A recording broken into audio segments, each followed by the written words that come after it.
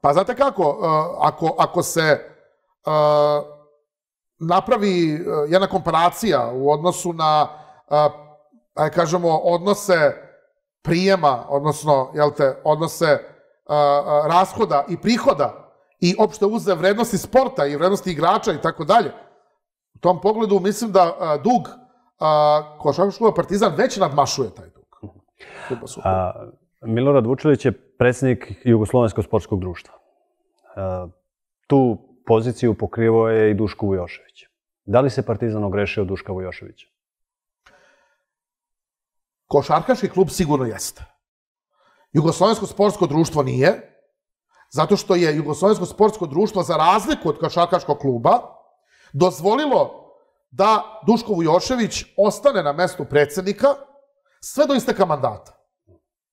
Dakle, nije smenjivan, nije na bilo koji način bio prinuđen da ode, istekao je mandat i nakon toga je izabran Milorad Vučelić za novog predsednika. Šta više, njega je predložio Duško Vujošević tada za formalno i kurtoazno za novog predsednika Jugoslavskog sportskog društva. Mislim da se košarkaški klub negde poneo baš onako kao što ste vi rekli, Nedićevski, prema Dušku Vujoševiću. U pokušaju da kao Mila Majka spase Partizan, Nedić Mila Majka, jel te kako su ga nazivali u vreme od 41. do 45.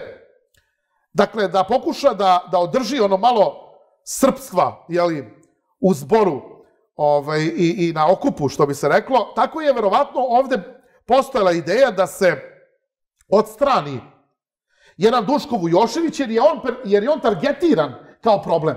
Ali pogledajte sada jednu sličnost. Isto se desilo sa mnom. Da. Dakle, tamo gde je Duško Vujošević bio problem u košarci, tamo sam ja problem u futbalu. I šta imamo danas? Imamo da je košarkaški klub 11. od 13. mesta i imamo da je futbalski klub mirno drugi. Što kaže, znate, Ljubomir Simović, mirno žanjite da možete mirno da gladujete. Od tog se mira moramo braniti. I kakvi se poslovi završavaju po noći?